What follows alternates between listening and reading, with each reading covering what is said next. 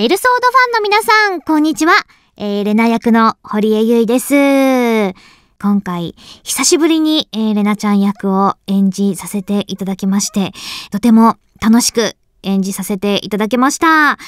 い、えー、レナちゃんはエルフのちょっぴりお姉さんでとても可愛らしいキャラクターです。そしてあの、エルフの長老様というキャラクターの、まあ、ちょっと指令で、レナちゃんは旅に出かけるんですけれども、その長老様が意外と思っていたよりも、えー、若くて、そしてイケメンで、えー、びっくりしました。さすがエルフ、年を感じさせないと思いました。えー、セリフは少し少なかったので、えー、もっともっと演じる機会があればいいなと思っております。は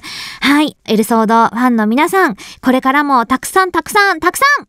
遊んでいただいて、そしてまたぜひ私にりなちゃん役を演じる機会をいただけたらと思っております。そ